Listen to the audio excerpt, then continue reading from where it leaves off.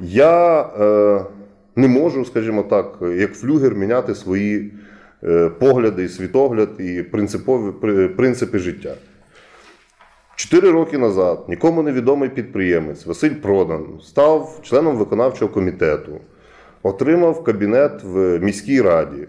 І в на телефоні тодішнього очільника міста Віталія Михайлішина його прямий номер внутрішній міській раді значився під номером 1. Жодне рішення під час панування партії регіонів в місті Чернівцях не приймалося без участі Василя Продана. Він був, як його Геннадій Геннадійович назвав, смотрящим. Я чітко знаю, це неможливо довести. Ніхто не проведе зараз розслідування по іншим округам, крім округа Ростислава Білика.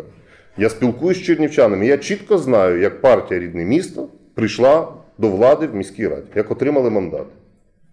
Я ніколи в житті своїми руками не легалізую цю владу. Я не зроблю представника партії, члени якої скупали голосів виборців, не зроблю керівником.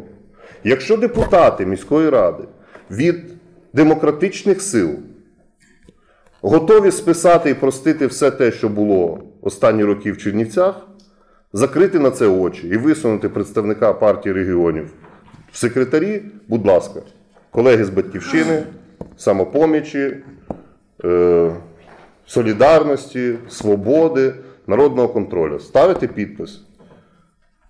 Але всі мають чітко розуміти, що це за підписи там будуть.